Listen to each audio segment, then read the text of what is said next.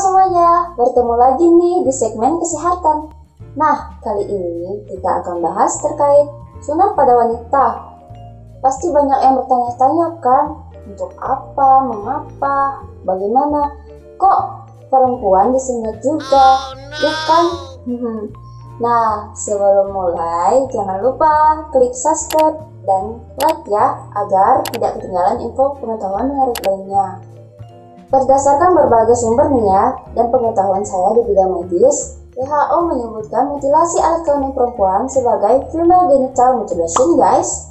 Nah, sunat perempuan umumnya dilakukan karena alasan sosial dan budaya. Mutilasi alat kelamin perempuan cukup umum dilakukan di Afrika dan Timur Tengah.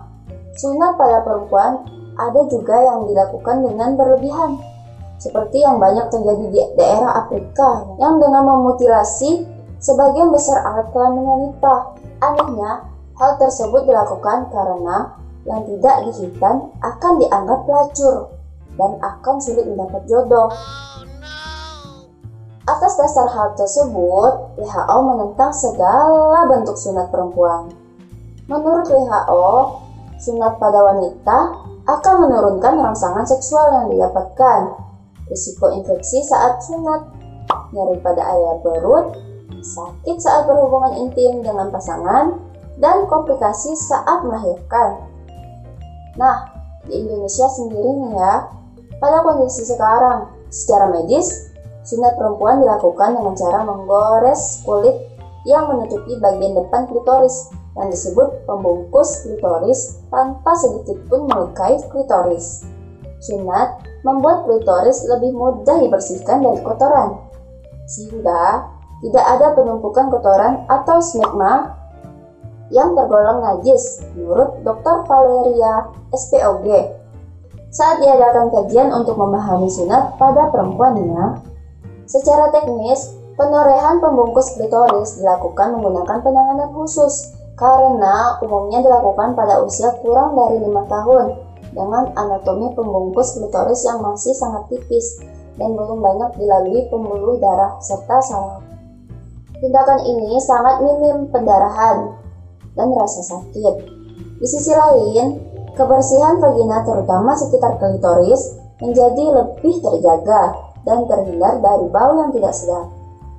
Dr. Jacobson asal London Inggris mengatakan bahwa pada wanita yang memiliki masalah untuk mendapatkan kepuasan seksual saat berhubungan intim dengan pasangannya bisa jadi disebabkan pembungkus klitoris yang terlalu tebal sehingga menutupi klitoris. Hal ini selanjutnya mengurangi gairah dan rangsangan yang diterima klitoris selama melakukan hubungan. Nah, dengan dilakukannya sunat dengan metode ini, klitoris menjadi terbuka yang selanjutnya meningkatkan rangsangan yang didapatkan seorang wanita. Baik tindakan sunat perempuan atau disebut hodektomi terbukti tidak menimbulkan kerusakan saraf di sekitar klitoris jika dilakukan oleh tenaga medis profesional ya. Sunat perempuan ini ya guys, berbeda dengan tindakan female genital mutilation atau FGM yang disebut WHO, menghilangkan secara total atau sebagian dari organ genitalia eksternal wanita. Jadi, yang dilarang WHO adalah FGM, bukan hitanan perempuan. Hal ini diperkuat lagi dalam kajian Islam. Ibnu Sobak berkata dalam Asyamil, wajib bagi laki-laki memotong kulit kepala penis sampai kepala penis terlihat seluruhnya. Adapun wanita ada dua penghalang, salah satunya selaput keperawatannya, dan yang lain adalah yang wajib dipotong yaitu seperti jajar ayam, pada bagian vagina. Terletak di antara dua mulut vagina. Jika dipotong, maka pangkalnya akan tetap seperti biji. Yang perlu diperhatikan dari perkataan ulama adalah kata kulit, sehingga yang dimaksud adalah pembungkus klitoris. Orang awam banyak yang mengira wanita yang disunat adalah klitorisnya.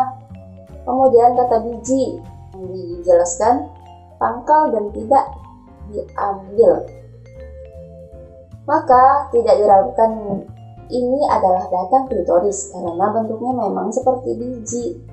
Telah dijelaskan bahwa klitoral hood adalah homolog dari kulu penis atau perputium. Homolog merupakan istilah bahwa keduanya adalah organ awal yang sama ketika tahap embriologi. Dalam perkembangannya, embrio, organ genital berkembang sesuai dengan jenis kelaminnya. Pada laki-laki yang disunat adalah kuluk penis, maka wanita juga demikian. Nah, sama saja kan sebenarnya antara sunat laki-laki dan perempuan.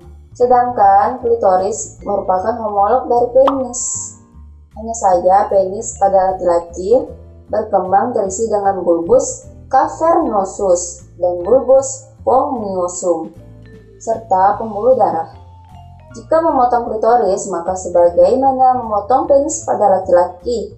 Nah, kesimpulannya, sunat pada perempuan adalah membuka pembungkus klitoris saja atau yang disebut klitoris hood ya.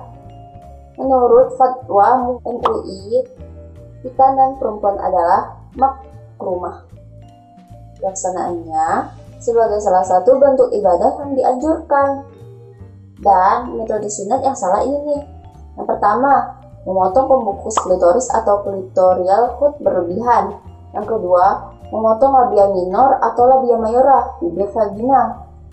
Yang ketiga, memotong klitoris.